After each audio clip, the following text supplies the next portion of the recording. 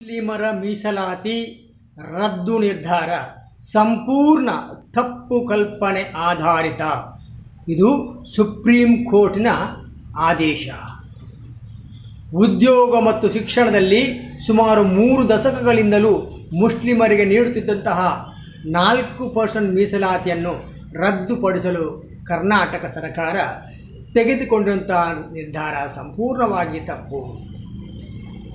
ಅಷ್ಟಾಗಿಯೂ ಒಂದು ವೇಳೆ ನಿಮಗೆ ಲಿಂಗಾಯತ ಹಾಗೂ ಒಕ್ಕಲಿಗ ಸಮುದಾಯಕ್ಕೆ ಈ ಮೀಸಲಾತಿ ಹೆಚ್ಚಳ ಮಾಡಬೇಕು ಎಂದಾದಲ್ಲಿ ಒಬ್ಬರ ಬಟ್ಟಲಿದ್ದ ಇದ್ದಂತಹ ಅನ್ನವನ್ನು ಕಿತ್ತುಕೊಂಡು ಮತ್ತೊಬ್ಬರಿಗೆ ನೀಡುವಂಥ ಅವಶ್ಯಕತೆ ಏನಿತ್ತು ಎನ್ನುವುದು ನ್ಯಾಯಾಲಯ ಪ್ರಶ್ನೆ ಮಾಡುತ್ತಿದೆ.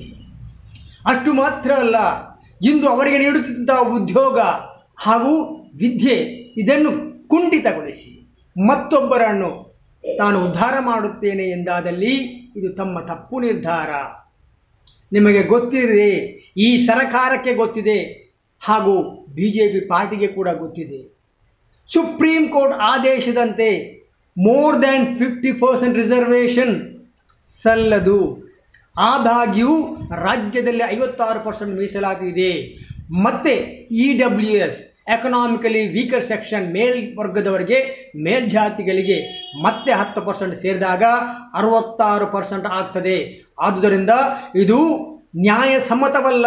ಸುಪ್ರೀಂ ಕೋರ್ಟ್ನ ವಿರುದ್ಧವಾಗಿ ತಾವು ಈ ಕಾರ್ಯವನ್ನು ಮಾಡಿದ್ದೇವೆ. ಅಂದರೆ ಈ ಸಮುದಾಯಗಳ ನಡುವೆ ಮುಸ್ಲಿಂ ಸಮುದಾಯ, ಒಕ್ಕಲಿಗ ಸಮುದಾಯ ಹಾಗೂ ಇನ್ನಿತರ ಸಮುದಾಯಗಳ ನಡುವೆ ತಾವು ಭಿನ್ನಾಭಿಪ್ರಾಯವನ್ನು ತಂದು, ಒಡಕನ್ನು ತಂದು, ತಮ್ಮ ರಾಜಕೀಯ ಬೇಲೆಯನ್ನು ಬೇಯಿಸುವುದಕ್ಕೋಸ್ಕರ ಇದು ಮಾಡಿದಂಥ ಷಡ್ಯಂತ್ರ ಎಂದು ಸುಪ್ರೀಂ ಕೋರ್ಟ್ ಭಾವಿಸಿದಂತಿದೆ.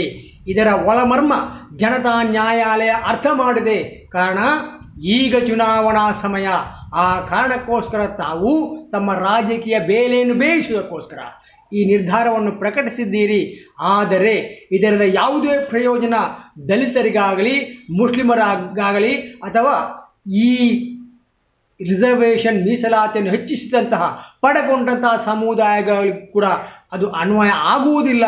ಕಾರಣ ಇದು against the supreme court law ಆದ್ದರಿಂದ ಇದು ರಾಜಕೀಯವಾಗಿ ಜನರನ್ನು ಮೋಸದಾಟಕ್ಕೆ ಸಿಲುಕಿಸುವಂತಹ ಷಡ್ಯಂತ್ರ ಎಂದು ನಾವು ಅರ್ಥ ಮಾಡಬೇಕಾಗಿದೆ. ಇಂತಹ ಸರಕಾರವನ್ನು ಕಿತ್ತುಕೊಯ್ಯದಲ್ಲಿ ಮುಂದಿನ ದಿನಗಳಲ್ಲಿ ಜನರು ಪರಿತಪಿಸುವುದು ಸತ್ಯ.